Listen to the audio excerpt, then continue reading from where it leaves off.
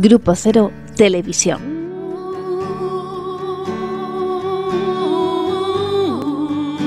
Escribir hasta romperme las manos escribiendo. La canta, la guerra, ¿qué hace con la guerra, la poesía? La canta. Escribe la historia.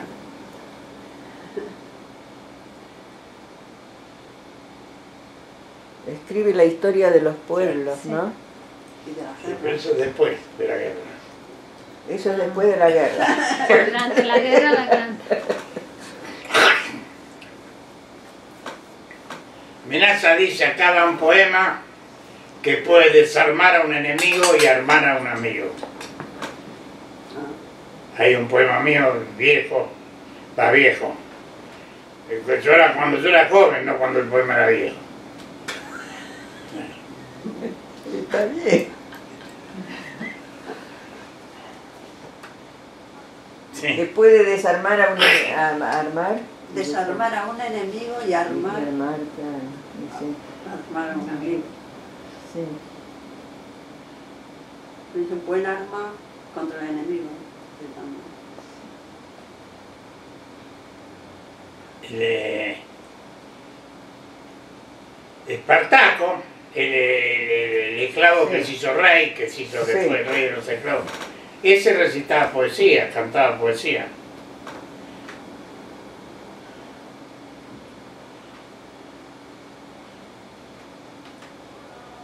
Hay poeta joven, poeta mayor, cuando, ah, cuando dices, cuando el autor era joven, no que el poeta era joven. O hay poeta joven y poeta mayor.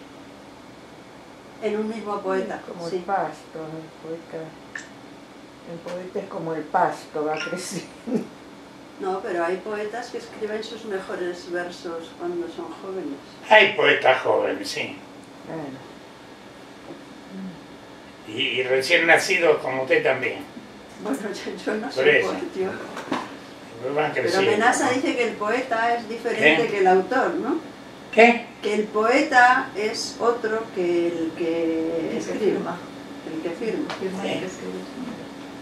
En ese sentido. Pero uno lo tiene que aguantar, si no, no hay poeta que valga. Ah.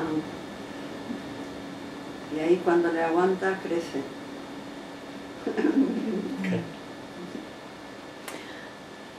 ¿Usted cree que estamos en un, en un momento de transición del capitalismo a otra estructura socioeconómica? La poronga. que no, Que no, no. hay para 2000 años de capitalismo, porque además, que si usted se ve, eh, las fuerzas del orden se van transformando. Por ejemplo, ante una manifestación, por ejemplo, la manifestación de los trabajadores irlanderos del año de la poronga, con la manifestación consiguen bajar de 14 horas de, de- de día a 12 horas, por ejemplo. Sí. Bueno, ahora ya no, ahora ya el capitalismo ya tiene controladas las manifestaciones, las huelgas. Nada de eso sirve contra el capitalismo. Ya está controlado. No, hay para 3.000 años de capitalismo. Puede ser, como decía la Kirchner, ¿no? que dijo, si, si mis amigos guerrilleros me escuchan decir esto me van a matar, pero hay un capitalismo bueno, ¿no? en el sentido de que hay un capitalismo que cuida la seguridad social, que cuida esto, que ayuda a los pobres, que... bueno, Todavía no estamos ni en ese capitalismo. Capitalismo salvaje, ¿no? Es un capitalismo guiado por los mercados, entonces es salvaje. Sí, ¿Cuál es la singularidad del Grupo Cero frente a otras escuelas de psicoanálisis? bueno, lo primero que se me ocurre es decirle que ha incluido a la poesía eh, dentro de la formación. Todos, todos o casi todos los psicoanalistas del Grupo Cero tienen un libro de poesía, al menos, cuando no tres o cuatro. Y después, como decía eh, Octavio Paz, la poesía es un instrumento de conocimiento. Lo que pasa es que como todo instrumento de conocimiento hay que saberlo manejar, hay que saberlo leer.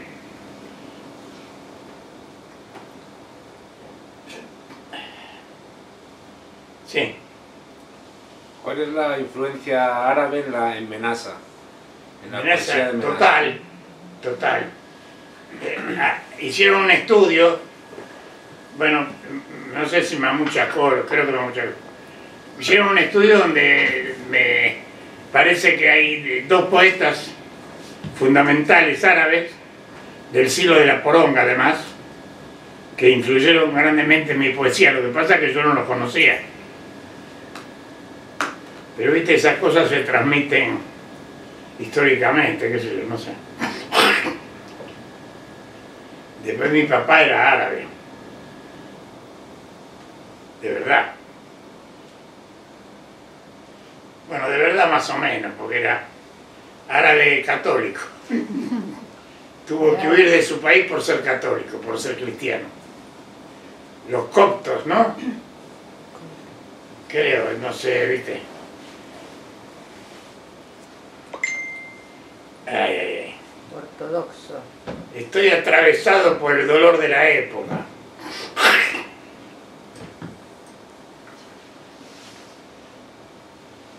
A veces veo televisión, de una manera muy particular, ¿no?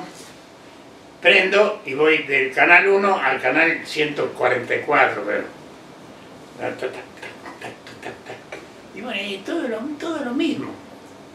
Porque eh, si no sabes si las series de animales las sacaron de los humanos o los humanos salen de las series de animales. Eso es igual. Igual. Competencia, deslealtad, engaños, eh, matanzas. Bueno, los dibujos animados que eran mi refugio, Ah, los dibujos. ahora ya no se puede. También son de guerra, de pelea, de competencia. No, si en la televisión calculan que hay 50 canales, en 100, 120, 150 canales de deportes. Y eso decir, bueno, ¿y qué tiene que ver? Bueno, no, nada, los deportes de competencia, de lealtad, cómo lo juega el otro para llegar primero, cómo... ¿Entendés? Sí, pero de deportes además relativo, porque ¿Cómo? hay 100.000 deportes y te ponen dos deportes.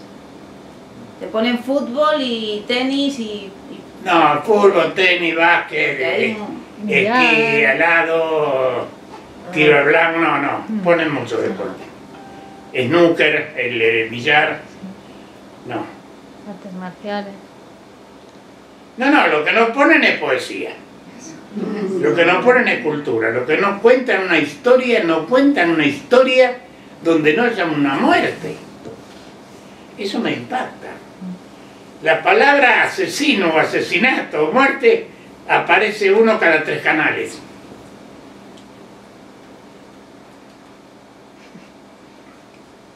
Y bueno, Sí.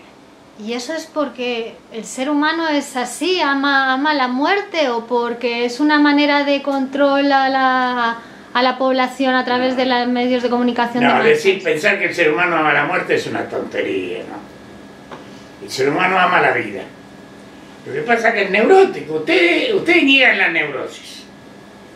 Entonces hacen preguntas. No, no, no ama la muerte, pero es neurótico. A veces sin querer se mata. Ahí está el boludo ese que murió ahora haciendo esquí. Sí. Un, un artista, un Sin casco. cantor, ¿cómo? Sí, un actor. Un actor. Pero que choque con otro tampoco. Se fue a hacer es esquí. ¿cómo? Que tampoco es fácil chocar con otro esquiador. Que chocó con competencia, ¿no? Bueno. Chocó con otro. No, pero se le cortó. Pero eso fue un corte de la cabeza por una. Por una bueno, fue la, la del hierro. Con hierro. Pues que se encontró con una. Yo practiqué el peor de los deportes. Yo practiqué boxeo varios años. ¿no? ¿no? Y bueno, con, con un gran profesor, Oscar Casanova, que fue campeón olímpico sin, le- que, sin que le pegaran un solo golpe en la cara. Entonces, claro, a mí la cara no, no, me la tocan. La nariz la tengo desde chiquito, así me la...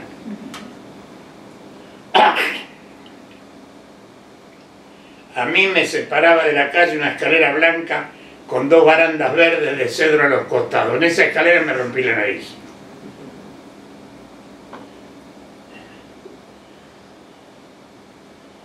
Haciendo proezas. Porque eh, teníamos las llantas de la bicicleta con una cosa así de alambre. Hacíamos una roqueta de alambre y la llevábamos. Nosotros corriendo detrás. Y yo quise subir la escalera con, con la con la rueda esa. Eh, No pude. Ahora, era una niña yo, ¿eh? Menos mal que me rompí la nariz que parezco un hombre ahora. La carita que tenía, si anda por ahí mi foto. Una carita de bebé. Y encima de la piel que tengo, que es de bebé, sería la locura.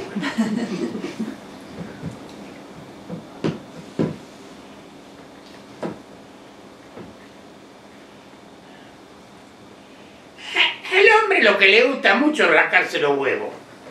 Y a la mujer también, ¿no? Aunque no lo tenga, igual ella se lo rasca, ¿no? En el sol, tomar sol, que el sol. Descansar, mirar las estrellas. Que te lean, Ah, ¿No? sí. que te pasen por televisión, poemas, teatro, ¿no? Y así se pueden vivir 130, 140 años. Lo que pasa es que nadie aguanta. La gente empieza a decir, uy, estoy todo el día en mi casa, estoy todo el día sentado en esta silla. ¿No? No voy al teatro hace 10 años, veo por televisión todo. bueno. Y ve, empieza a joder, a joder, a joder y se muere. Mira Normita cómo aguantan. Que era más divertida la vida de los indios porque eh, no estaban todo el día sentados adentro de la choza. No. Tenían que salir. Bueno, pero ojo, porque los guaraníes, una especie de indio muy particular, se dicen ciertas historias que son atlántides, que vienen de la Atlántida, los guaraníes, porque son indios altos y ojos eh, claros, verdes o azules. ¿no? Bueno, no tenían dioses y no tenían armas. Cacique era el que inventaba una nueva palabra. Tanto que el guaraní es uno, guaraní, ¿viste? Ni- ¿quién no lo- pero es uno de los idiomas más ricos. Porque para ser cacique tenía que inventar una palabra. Bueno, murieron todos.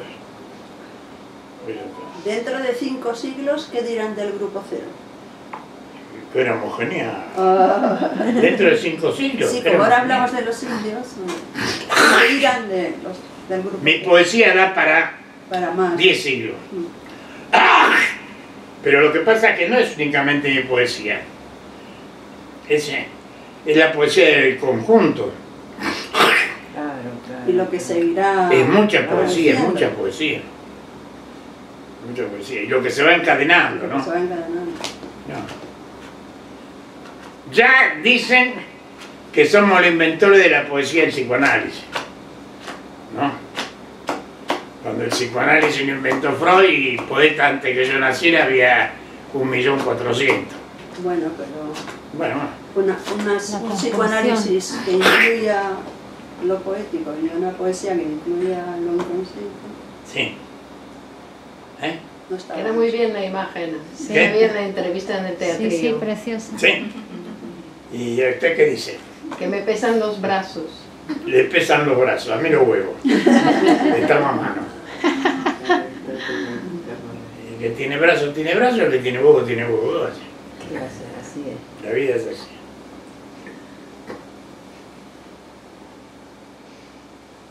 ¿De qué te digo? Una pregunta. Sí, ¿Hay más niños malformados, deformados, con enfermedades raras en la actualidad que en otros tiempos históricos? no, no, los- no tengo datos. Pero es probable que ahora. Sí. Es probable que ahora porque no se los cuida, ¿no? Yo ya expliqué esto, los ciudadanos desprotegidos son los niños y los viejos, porque están fuera de la producción capitalista, ¿no? La producción capitalista cuida al trabajador. Al trabajador lo cuida, para que vuelva al otro día, ¿no? Le prepara el ocio de fin de semana para que vuelva a trabajar. Que hay muy pocos trabajadores que se van de fiesta el fin de semana y no vuelven a trabajar, muy pocos. Entonces estamos peor que nunca, porque ahora te mandan a los siete días a trabajar y todavía contaminas a tus compañeros. Sí, bueno, ahora lo que están tres. haciendo con el COVID ese famoso es brutal. Y bueno, lo quieren negar como pandemia, ¿no? Entonces al querer negarlo como pandemia hacen toda esa cagada, eh, te rebajan los días de, contención. Y la cagada que harán que nosotros desconocemos.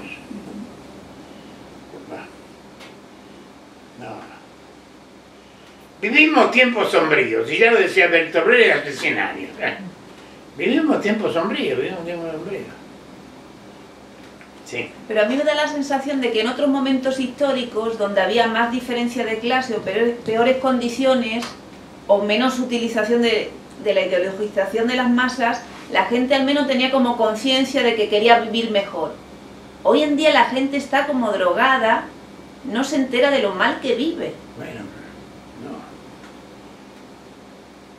Pero ¿qué es vivir mejor?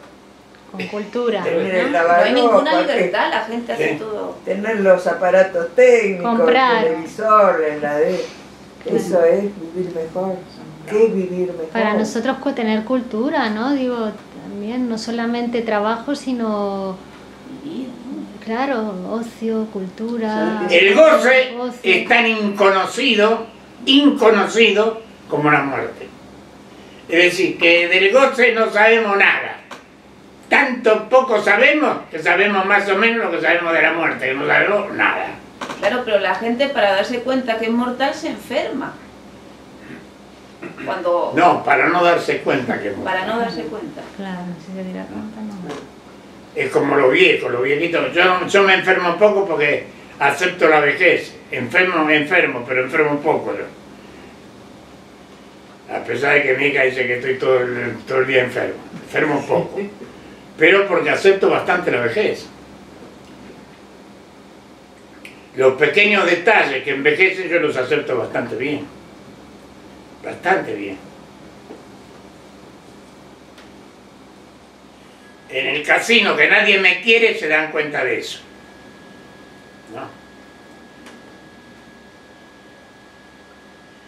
¿Cómo se conserva, doctor? Estoy todo el día en formol. Solo me... Salgo del tacho de formol cuando vengo a jugar. Claro, acceder al psicoanálisis también es lo, lo que hace posible que te humanices, ¿no? Que vivas en la palabra, que aquí... Sí, pero estamos lejos de eso. Estamos... Bueno, por eso, que lo terrible es que hoy día no... No aceptan el ozono, que es gratis, y abarata las cosas. Porque el ozono realmente abarata las cosas. El psicoanálisis no abarata las cosas. El psicoanálisis es caro. Bueno, pero te permite acceder a... Permite acceder a un montón de cosas, pero palabra. en cambio el ozono, que es gratis, que permite curar muchas enfermedades, tampoco es aceptado. Que no, si- ¿cuánto Sí. tiempo tardaron en aceptar el... ¿Cómo se llama? El, El estetoscopio. el estetoscopio. El estetoscopio. Un siglo. ¿Cuánto? Un siglo. La corneta usada. Un siglo tardaron. Nada que estropee un negocio existente, ¿no? El negocio de la corriente. No, no, estamos, estamos lejos, estamos lejos. El negocio de... no. Uno dice la poesía, la poesía. Yo, por ejemplo, estoy muy contento a veces de que tengamos eh, 500 personas a nivel mundial que escuchan la poesía, ¿viste? Porque es un montón. Es un montón. Porque nadie escucha poesía, nadie. Y una poesía con inconsciente. ¿Qué? Una poesía con inconsciente, con, Sí, con psicoanálisis, con, vi- con sujeto. con sujeto. Bueno. Sí, ¿alguna pregunta más? Espero que a Clemón le baste. A ver, por favor. Una pregunta íntima a mí.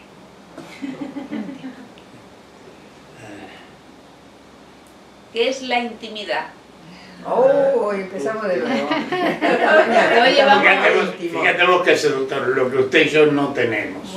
Ah, muy bien. No existe. sí, Cruz.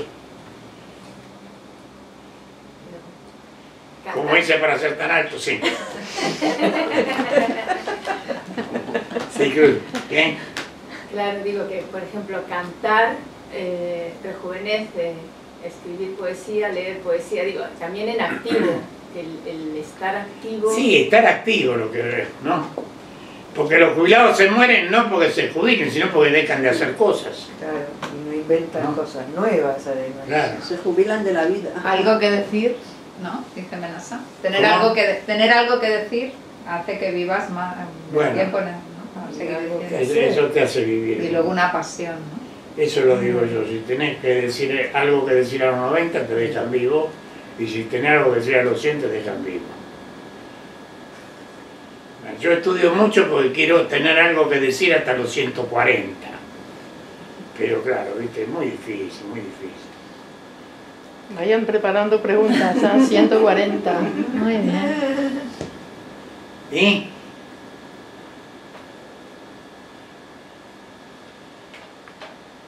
Estaba pensando eh, que en la que es más importante, creo que es más ahora es- usted se dedica más al psicoanálisis que al marxismo, pero también ¿Cómo, cómo? se dedica usted más al psicoanálisis que al marxismo.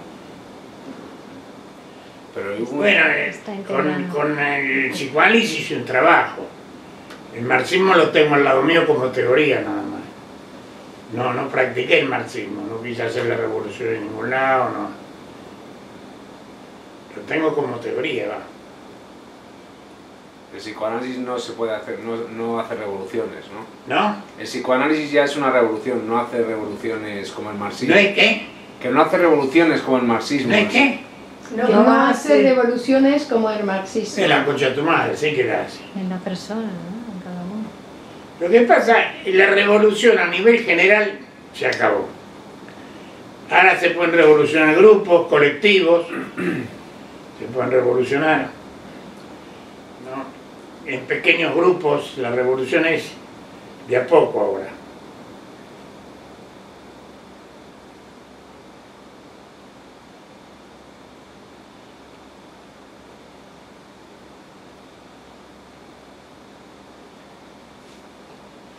La gente vive aferrada a sus cosas, ¿no? Porque bueno, si vive aferrada a su automóvil que le costó dinero, vaya, a su casa que le costó, vaya. Pero vive aferrada a sus sentimientos, a sus recuerdos. Aferrada, sí.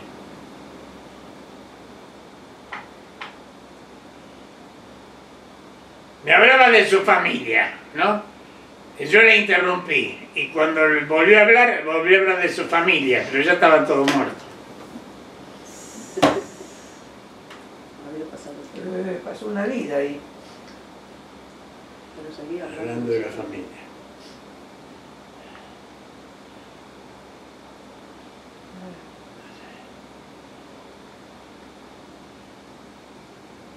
Mira, a ver si te das cuenta cómo soy. Y te lo voy a decir. Yo creo que para tener una vejez cinco estrellas y duradera, ¿no? Mira, callar, perdonar y olvidar. Callar, olvidar y perdonar. Y si utilizas esos tres verbos todo el tiempo, vivís más años. Repita porque... Callar. Callar, Callar. olvidar. Callar, puede- olvidar y perdonar. Muy bien. Pero ¿quién es capaz de hacer eso?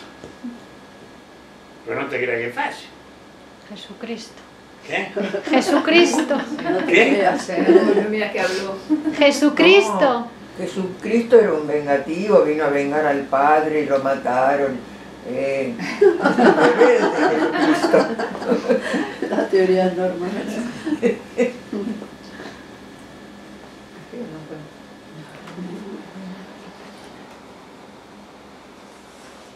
Jesucristo fue figura central del cristianismo revolucionario que se dio en ciertos países americanos. Porque no es joda lo que piensa Jesucristo, Jesucristo piensa de una manera revolucionaria. Lo que pasa es que anda a ser cristiano de verdad. Te llaman Te, comunista. te crucifican. Comunista te llaman, como el Papa. Claro, ¿ves? Ese es un cristiano de verdad. Ah. Y Sí, claro, porque además no creo que haya habido otro papa que cosechó tantos fieles como este papa. Total. Este papa cosechó fieles a raudales. Pero claro, con ese libertinaje aparente, ¿no? Ahora le da a la mujer autoridad para hacer algo Para hacer- que antes hacían solo los hombres. Para dar misa, sí. No podían misa. dar misa. ¿Así? Es un genio, importa un carajo. Y después saneó la economía y la pederastía. Saneó eso, castigó. Castigó a los pederastas y castigó a los que... Usurpadores. ¿Qué? A los que robaban. Sí, a los que robaban eso.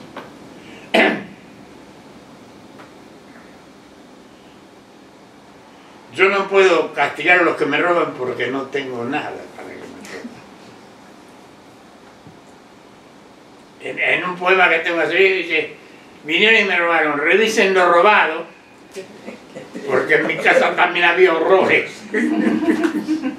Claro, no, por ahí sin querer te llevaste un horror.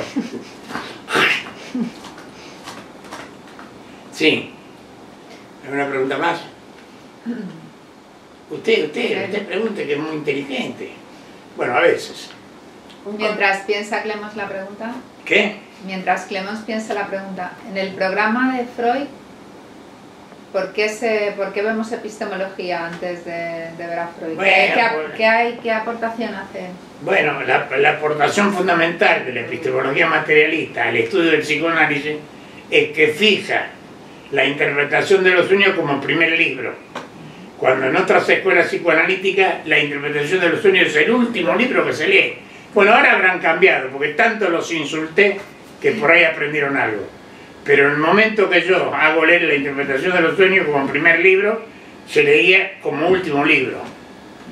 Es decir, que el, el libro donde Freud fija el inconsciente, el método y la técnica, no es que fije poco, ¿no? produce el concepto de inconsciente. ¿Me entendés? Eso fue con ayuda de la epistemología. Pero esa lectura también delimita el campo. ¿Qué? Esa lectura de esos textos ahí epistemológicos delimita el, el campo del psicoanálisis. Sí, claro. Sí, claro, porque toda ciencia es relativa a lo que sobredetermina. Ujú. En cambio, la ideología es abarcador, la ideología habla de toda la realidad. La ciencia habla, la ciencia nace mutilada, dice Menaza, porque habla de lo, de lo que descubre, no puede hablar de otra cosa. Pero la Sí. epistemología también incluye el tiempo a precup, ¿no? ¿Qué? Que la epistemología materialista, a diferencia de la positivista, incluye el tiempo como tiempo de re- con retroacción, con retro... Pero ese es Freud, ¿no? Freud más. Mm. Eran contemporáneos. ¿Qué? Eran contemporáneos. Freud y Marx. Más o Un menos. poquito anterior. Pero el Más tiempo Más, anterior. más anterior. Primero era más, me parece. Sí, sí. Un poquito, pero coexistieron, sí, un tiempo. ¿Quién? Marx y Freud. Pero era anterior Marx. es anterior. Ah, vale. En el 48 Sí. Pasamos a la poesía. Va, venga. Muy bien, Muy bien. muchas gracias. Muchas gracias.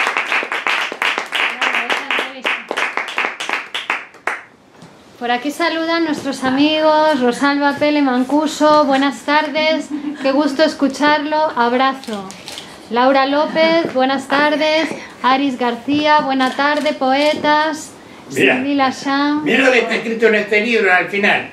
A ver, ¿Qué? Dice, manuscrito. soy un hombre de 70 años. Si quiero vivir 30 años más, tengo que ser feliz, sentirme contento con mi vida actual, revalorizar mi vida pasada, entender entender y superar los malos pasos tanto como las desgracias. Chao. Acá está todo, ¿viste? Pero qué bueno, ¿no? Callar, olvidar y perdonar. Fua. ¿Entendés? Es que, sí, pues solamente falta aplicarla. ¿Eh? No Empecemos desde falta ya. Que hace falta empecemos a hacer el ejercicio. Qué bueno. Ahora vamos a leer un poema que muestra que yo soy un poeta. ¿Por qué? Porque este poema yo lo escribí al llegar a España. A los dos meses, mira, Madrid 1976, el mismo año que llegué a España. Antes de que terminara el año yo escribí La patria del poeta. Entonces, y es muy interesante, ¿lo querés leer?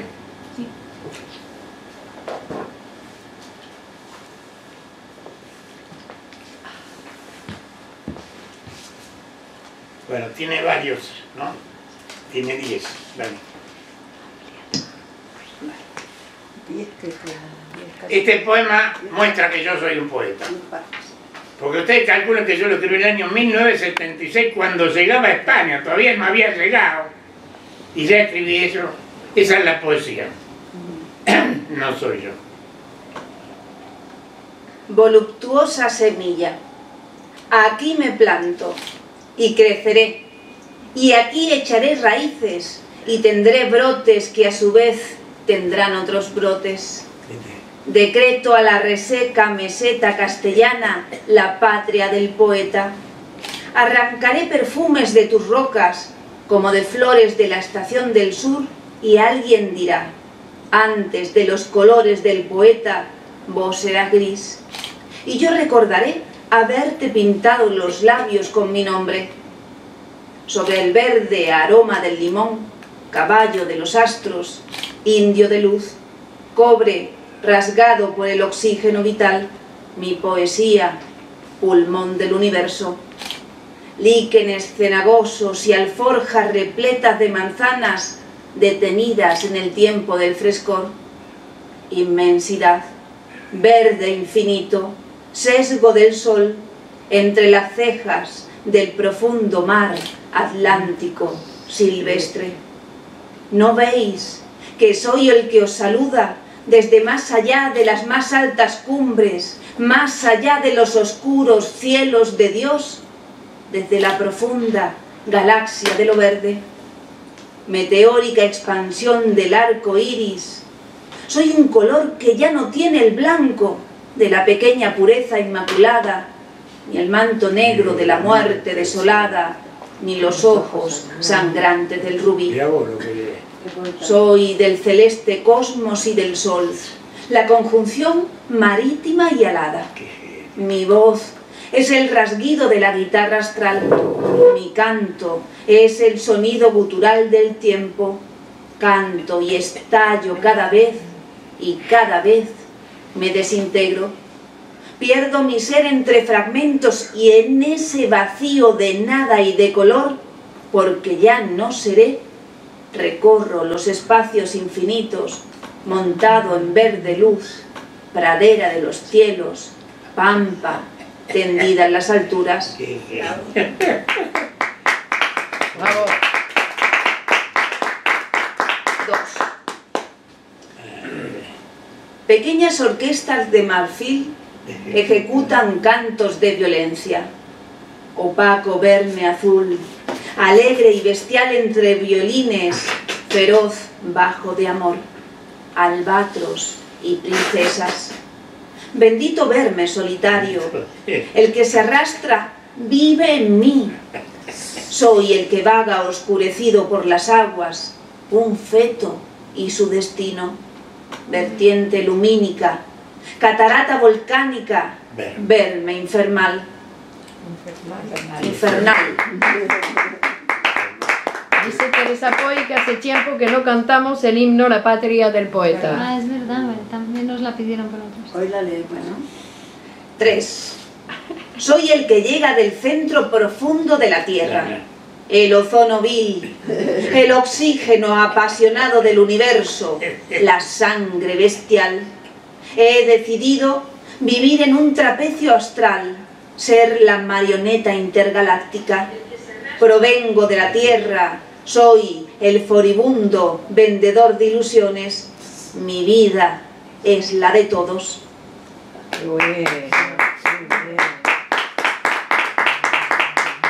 Cuatro. Humano por excelencia, de lo inferior hice mi propia vida. Andrajo del siglo, muestra definitiva de la masacre, perfecta basura inmortal. En el espacio, una brecha encendida de cielo. Aguas y refrescos y manantiales rocosos, púrpuras marinas, estrellitas pequeñas y lejanas y aceites luminosos de luz, carne de siglo. Carne del siglo. Carne del siglo.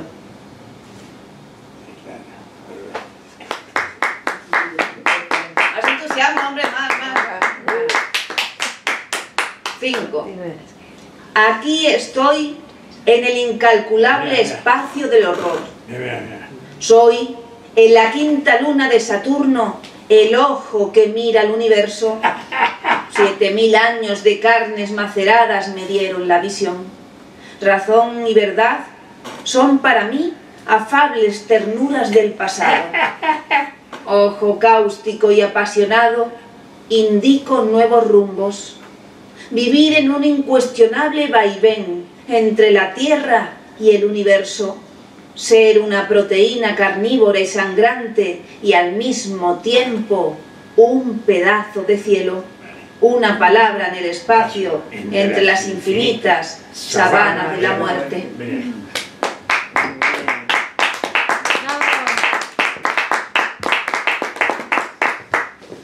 Sabanas de la muerte. Sabanas son desiertos, ¿no? ¿Qué? Sabanas son los desiertos. Sí, sí. Sábanas es una extensión verde. ¿eh? Una extensión verde pero plana, la sábana. 6. Mi padre es una carne abierta al sol. Mi padre es el oriente. Mi madre es la celeste y confortable máquina de occidente. Nací de dos seres agónicos, quiero decir, una combinación imposible. Nací feroz, atómico, silvestre. Fui desde el comienzo un incalculable error. No tuve límites y exploté también contra mi vida y volando en pedazos soy el que agranda el universo, el que le quita los límites al ser y volando, aérea luz, astro de los encuentros. Astro de los encuentros, ¿no? ¿Qué? Aérea luz, astro de los encuentros, dice. Gorda. 7. Si la muerte no existe, a la vida le opondremos la vida. Apóstol del verbo, en mi garganta nacieron desde el primer encuentro mil cuerdas oceánicas y cantoras. Satélite de lo humano, represento lo imposible.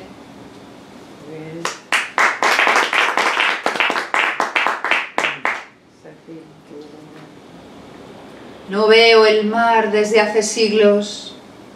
Estoy en el desierto de los cielos. Una cadena atada a una ilusión. Una ilusión girando enloquecida alrededor de una cadena. Un acertijo donde leches blancas y perfumadas caen en el corazón de la noche.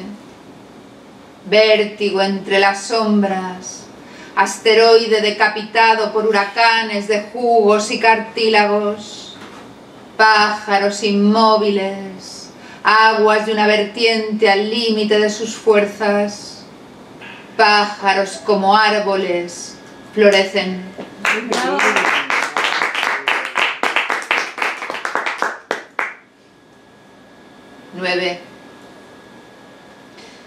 Cantos de robles oscuros y malignos, pequeños pájaros en las manos de un otoño vil, tiempo entre los espacios, acontezco en el ser por lo más frágil. Soy un pedazo de carne viva y elocuente, entre las basuras, un escalón al mundo de los astros. Decir vertiente oceánica es decir que no conozco mis anchuras. Pájaro sin dimensiones, con mis alas soy el que mueve las estrellas. Viajad conmigo, obreros de la vida, pequeños muertos de pequeñas palabras, soy el vaivén de un universo inagotable. Lo que termina tiene sus pies sobre la tierra, volando, os digo, el mundo es infinito. Una noticia del diario es eso, con mis alas soy el que mueve las estrellas. Que la gente a pensar, mira que fanfarrón que me nace. Resulta que en el periódico salió que hay un planeta pequeño de hielo que lo querían trasladar ¿no? a Marte. Porque Marte es un país, es un Planeta sin agua. caliente, Planeta sin agua. sin agua. Entonces, con eso hacían de Marte un, poeta- eh, un planeta habitable. No lo hicieron. Y yo de ahí, de esa noticia, con mis alas soy como las estrellas. La gente creía que yo creía que tenía alas y eran tan grandes mis alas. que qué boluda la gente. Ah, escuchame una cosa, Kesselman. Vos sos la hija de Kesselman. Porque Kesselman era más inteligente que tú, ¿eh? Tú pareces un poco boluda, ¿eh? Bueno, espero que te llegue el mensaje. Eh, descubriste que soy psicoanalista y resulta, boludita, que yo soy trabajo de psicoanalista hace 55 años. Y vos lo descubriste ahora y entonces decís que ahora me dedico al psicoanálisis. Mirá si será boluda, ¿eh? Bueno. Sí. 10. Intergaláctico y coloquial, Soy el fin de la locura. Pequeña razón hecha pedazos, musgo naciente y firme canción para el ocaso. Paradoja brutal, máquina enfrentada a su pasión de ser, loca energía queriendo estallar el universo. Una carne en medio exacto de la pupila astral, una vagina siempre descuartizada y abierta, pariendo en los abismos celestes de la noche el infinito tiempo del amor. Vejamen y luz, vacilación instantánea entre los soles, astillas de astros y astillas entre los astros, planetas mancomunados para vivir, estallan en todas direcciones, intentan, en diálogo fulminante, un jaque mate a la muerte. Pájaro de nieve, pájaro de montañas nevadas, alas y nieves y pájaros de sal, pájaros ardientes de agua y luz, lombriz del tiempo, pico de águila voraz sobre la única serpiente, manzanas y rojas esmeraldas y magnolias sangrantes para los ojos de aquel que vive entre las estrellas, para vivir debajo de la vida, la tierra se abre majestuosa al opulento espacio de los soles. Viajo por ese tajo hacia el espacio, descubro el universo. Serpiente y ángel, siembro sobre los cielos el apocalipsis del sentido. Busco en la propia corteza de la tierra un cielo azul, pájaros entre montañas.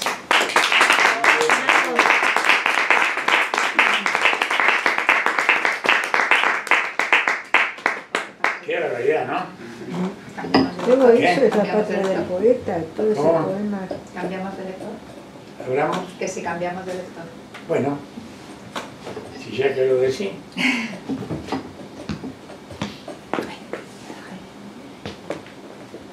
El que habla tiene una prenda, ¿viste? Insuperable como ha recitado. ¿Quién puede, ser? ¿Quién puede salir? Sí. Este, todo ese, ese poema largo es la patria del poeta, Sí. hasta ahí llega. Ahí Sí. empiezan murmuraciones. ¿Sabés Ahora. cómo? No, no, no, ¿sabés todavía? Y qué olvido. Yo escribí el, el número uno. Sí. El resto me lo dictó W, un extraterrestre que estuvo, mirá, una noche en Carbonero y Sol, toda la noche, un plato volador encima de nuestra casa. Y yo me comunicaba con W, que me dictaba eh, las otras partes del poema. Lo que pasa es que yo no lo comento esto porque la gente no te cree. Mira, se ríe, la enana se ríe porque no cree. Pero salió en el periódico después, ¿no? En el periódico salió que había habido un plato volador en Carbonero y Sol, en la plaza Carbonero y Sol, arriba toda la noche. Sí, eso salió en el diario. Sí, sí que era verdad que el plato volador estaba ahí.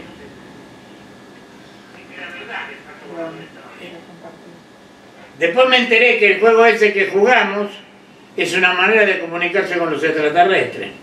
La Ouija. La Ouija. Ese. Y bueno, qué sé yo, ¿viste? También eh, a uno le pasan esas cosas, no sé si a todo el mundo le puede pasar eso, ¿no? También,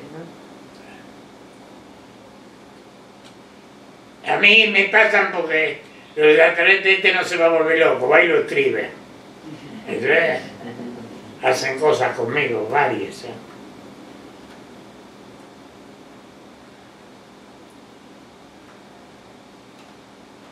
Eh, Hay un poema que dice, ¿qué?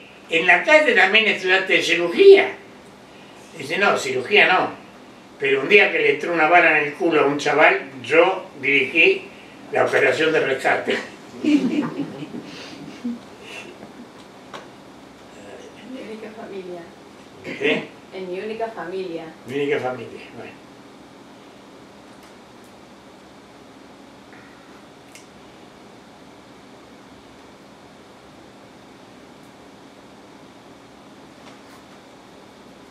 La gente se tira un pedo y lo publicita. Nosotros somos egoístas. Eh, Estoy llegando a esa conclusión, somos egoístas. ¿No? Pues nos tiramos como 15 pedos por día y nada, nada. No publicitamos nada. Porque la poesía esa es, es, es una poesía muy seria. ¿no? Se va a tardar en escribir así como... Se va a tardar, ¿eh? Para familia, ves que hay un egoísmo. Uno, uno dice, eh, mira, se está quejando que no lo reconocen. No, no, no. Estoy, me estoy quejando de nuestro egoísmo. Si, si no lo conocen, ¿cómo lo van a reconocer? Tienen que conocer. Y nosotros no lo hacemos conocer. No lo puedo. Anoche o anteanoche soñé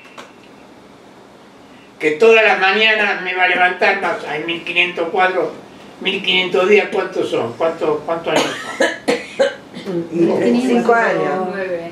No, Tres, sí, Cuatro, eh, cuatro cinco años son 60 meses, ¿no? Cuatro años. Cuatro y- años y pico. Cinco años. Sí, Y bueno, que me iba a levantar cada mañana y le iba a regalar un cuadro a, por la guía. Iba a buscar y rum, regaló. Así por lo menos se conocen, ¿no? Tenemos dos catálogos que nunca ningún pintor tuvo esos dos catálogos. Y no se los mostramos a nadie, no se los mostramos a nadie.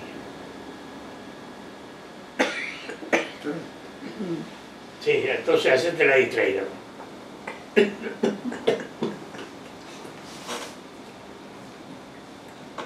Sí, Olga tose de noche. Muy poco. ¿Cómo sabes muy poco si vos dormís? No, porque no tengo mucha tos, pero algo de tos tengo. De noche estás dormida. Pero no tengo mucha tos. ¿Y qué tiene que ver eso? de noche dormida tenés tos. Peor sería si tosiera también de día. No, Eso sería que de noche porque de noche me escupís. Y esa es la finalidad de toser. Pero ustedes eh, de noche, ¿cuántas cosas pasan de noche? Eh? Que te escupen, que te trompean, que te dan vueltas. Se sueña. Y bueno, Todo malo, todo malo. No, hombre, ¿Qué? Todo malo lo que pasa de noche. No, Oh. Olga, obligacionista. Olga es mala, ¿eh? Sí, yo soy malo. No. Muy buena sos, sí. Mira la cara que tenés. Ahora, este, verme, verme infernal, dice, ¿no? ¿Cómo? Verme infer- infernal. Es genial. Es porque es verme y verme. Claro. Ah, Gusano y el verbo reflexivo. voy a tomar agua. Vermes gusano. Sí. Vale, ahí viene lo del rojo, por el mes. Eso es con Eso es con Hermes con. Te hago una apuesta, ¿cuánto te apuestas? Yo para llegar a los 80 años me estoy preparando desde los 50. Porque tengo frases de cuando tenía 50 años que hablan de la vejez. Bueno, yo creo que si ahora me ocupo de pensar los 120 años, llego a los 120 años. Porque te tenés que ocupar de las cosas, ¿sí? Sí. Las cosas, la gente cree que las cosas ocurren solas.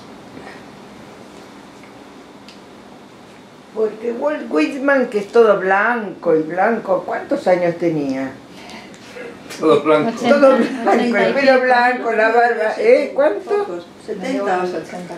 Ah, sí. El rey ya tiene pelo blanco, él tiene 30 años. Bueno. Bueno, un poquito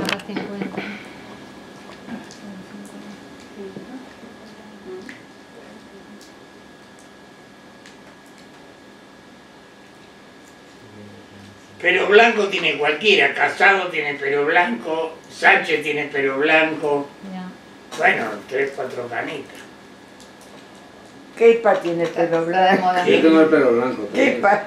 Uh, qué para un montón. Y eh, Virginia de vuelta. Mira, de acá le veo una cana.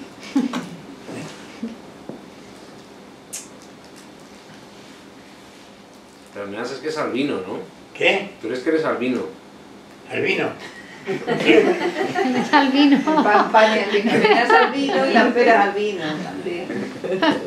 Albinos son los que no tienen el pigmento, ¿no? Sí. Los que tienen el pelo blanco. No. Y las pestañas. Y la No tez. tienen pigmentación. No tienen melanina en la piel. Bueno, después vienen las murmuraciones del poeta.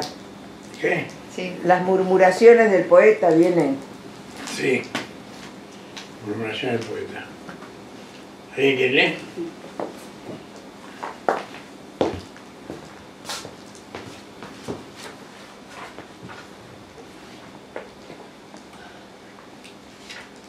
Vale. Toma. Bueno, Murmuraciones del poeta. escucha, Sí. más o menos, acércate al micrófono. A ver, todavía no empezó. No solo se vive de escribir poesía, una que otra mirada al destino siempre hace bien. Darse cuenta que la cultura resucita a sus muertos contra lo que nace y también por las dudas. Nací antes de tiempo. Ah, Lo que deseo me lo darán dentro de unos siglos. Soy un poeta sin padre y sin madre. Y no quiero ingresar en ninguna cultura, porque fuera de mí la cultura repite viejos vicios, canciones olvidadas, antiguas. Ese es el epígrafe. Y después quiero que me quieran, ¿viste? Dale. Ton decía eso de tu poesía. ¿Quién? Ton Lupo ¿A qué? decía que era un anticipo, que te podían leer dentro de no sé cuántos años. Sí, sí. Habías nacido antes de tiempo. Sí, y Roberto Monroe también. Roberto Monroe de las películas. Cuando le mandé a mi única familia que yo la miró y dijo, mira, magnífico, pero dentro de 20, 30 años.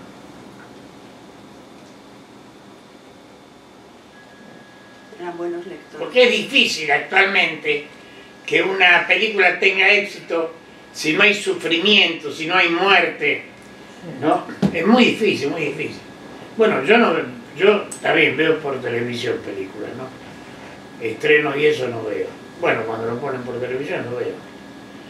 Pero siempre muere alguien, siempre sufre alguien. Y además eh, torturan a la gente por televisión, qué barbaridad.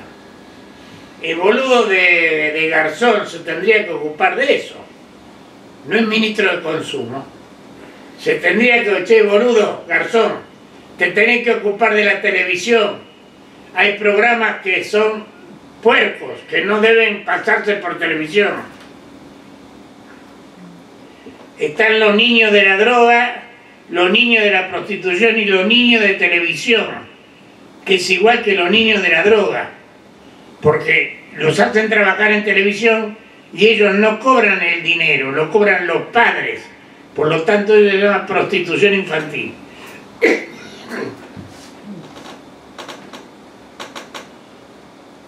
Además, aparecen niños innecesariamente. Porque una publicidad de chocolatina que aparezca un niño más. Pero a veces una publicidad de automóvil aparece un niño. Mostrando el automóvil. Para que... Bueno. No solo no les pasó... Garzón, sino- garzón. Garzón. Dale. No solo no les pasó el psicoanálisis, tampoco les pasó la bomba atómica. Hongo mutilador, me deformo al compás de tus radiaciones y en esa mutación se transforma conmigo la poesía. Deformidad para ella también, la sublime. Abro su pecho y en medio de su blancura estúpida hago estallar una canción de sangre y de petróleo humedecido por el llanto de mil generaciones y no habrá forma que soporte semejante grito. Tengan cuidado las academias. Ha llegado el poeta. Y esta vez el poeta no es un niño desolado, que solitario e indefenso busca almas gemelas y escribe poesías porque si no... Esta vez el poeta tiene claramente odio en su mirada. En su mirada tiene ejércitos, hombres, mujeres, millones de palabras en cualquier dirección, fuera de toda enciclopedia.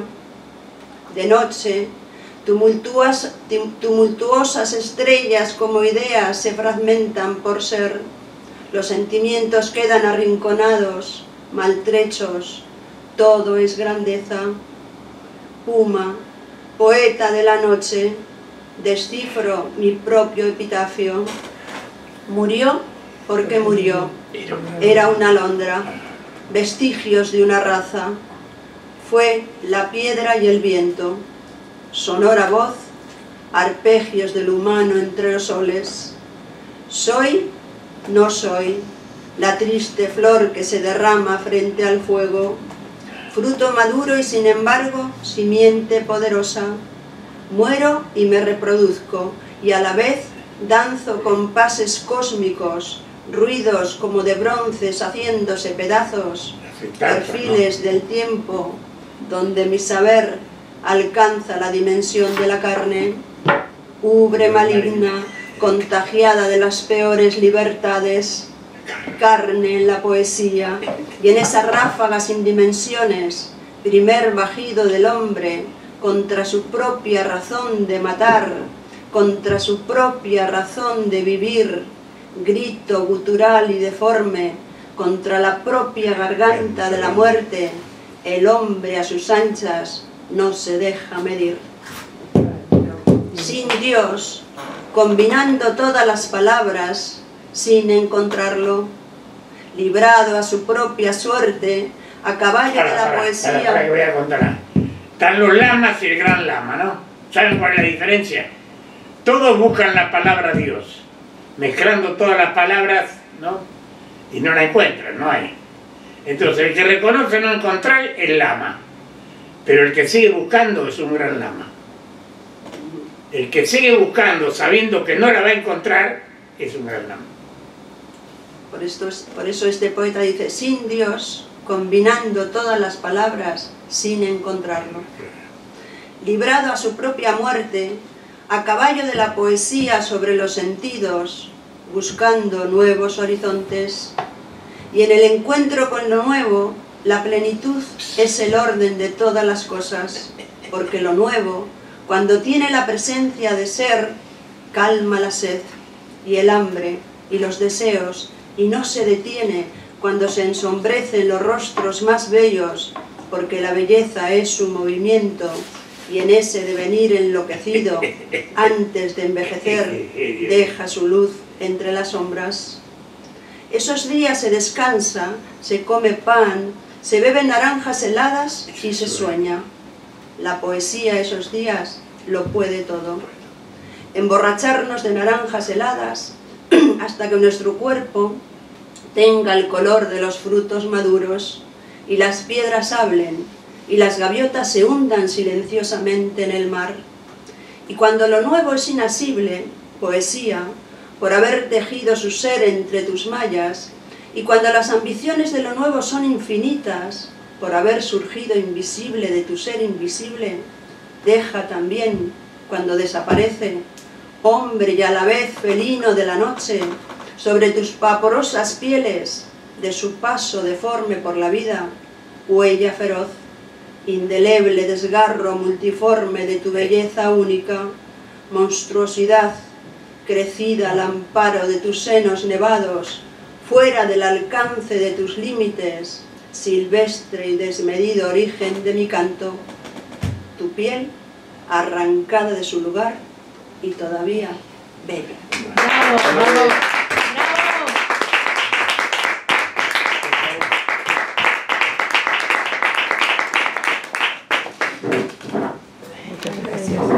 Muchas gracias. Aquí también agradecen. ¿eh? Teresa Poy agradece la hermosa tarde. Gracias. Muchas gracias. Bravo.